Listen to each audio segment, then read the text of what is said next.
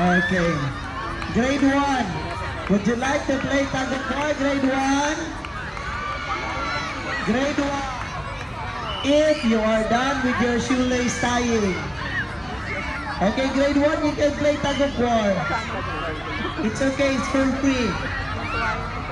Okay. Teacher Jay, Teacher Jay, please guide them. Thank you.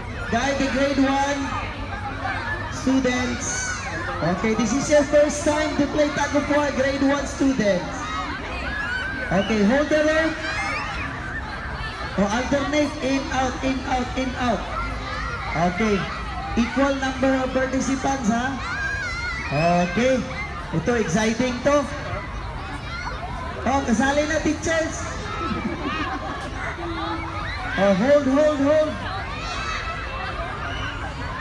If we hold all together. Oh, ready. Oh, lang naman. May count pa, three counts. Lobat na si ma'am.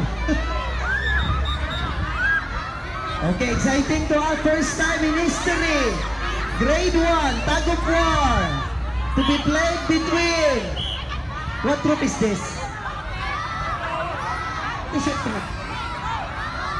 Santol. Among